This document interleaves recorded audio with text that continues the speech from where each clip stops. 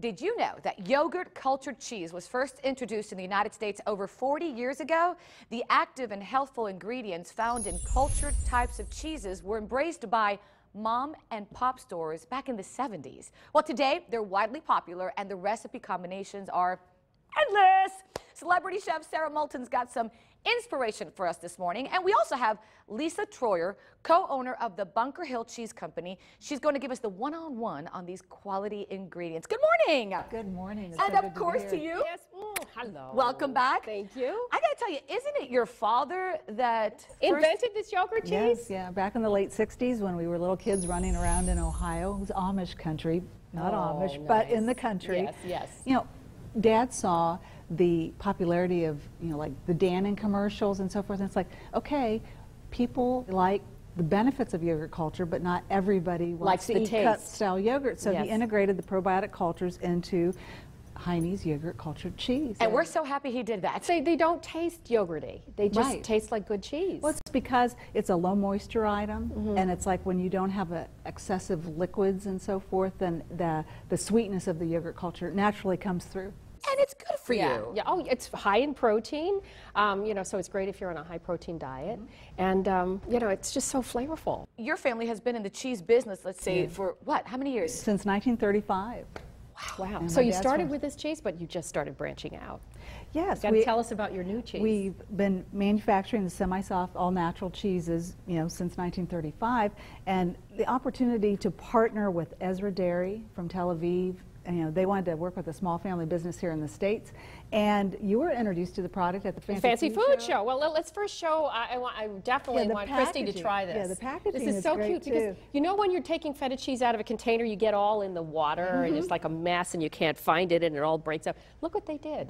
And you should try a piece of that. Oh my gosh. Because this cheese was introduced at the Fancy Food Show and I was mm -hmm. there and I tasted it, and this is how they, they present. Isn't that amazing? Oh, it's amazing. And I love how it comes cubed. Yes. They served it this way, which is an interesting way to eat this kind of, it is a salty cheese, it, as it should be. It's with watermelon. Um, so that's how they did it. But then I had a lot of fun developing a few recipes here because what I think you'll agree, what's so unique about this feta is normally it has, feta has a chalky texture. Mm -hmm. This is creamy. It's great. And the crazy thing is, both of the cheeses, both the full fat, it's only 16% mm -hmm. fat, and the light is only 5% oh fat. My goodness. I can't even really tell the difference. Both of them are creamy, even mm -hmm. the mm-hmm. light. So here's my dressing that I made. I want you to try it. Oh, you got it? It's, it's got four ingredients in it. So it's the feta cheese, the light feta cheese with buttermilk, which is the equivalent of 1% um, fat, with oh. lemon juice and olive oil. Period. Fabulous. Oh, and a tiny bit of garlic. I'm sorry, you'll never kiss again. Divine. But just a tiny bit. I you will can leave that out. so I loved it. So uh, what I did with it, I also came up with this wonderful Mediterranean grilled mm. cheese because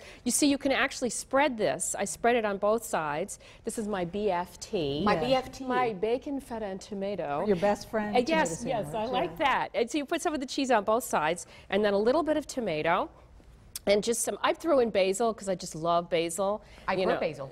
Oh wow! Well, this is this sandwich is for you, and that's it. And then you just cook it. I've got one here. I want you all to taste, and just give it a few minutes on each side. I cook it in olive oil. Okay. Because okay. it's Mediterranean grilled mm -hmm. cheese. Well, another thing too, uh, in the Mediterranean, on the Mediterranean Sea, this is the snack that they eat at the beach: watermelon and feta cheese. I and I see that it in New York would be the Hamptons. Yes, indeed it would. Yes. And in, in South Florida it would be South Beach. Yeah, yeah. there you go. um, so the, see how nicely it melted? Oh, Doesn't beautiful. that look great?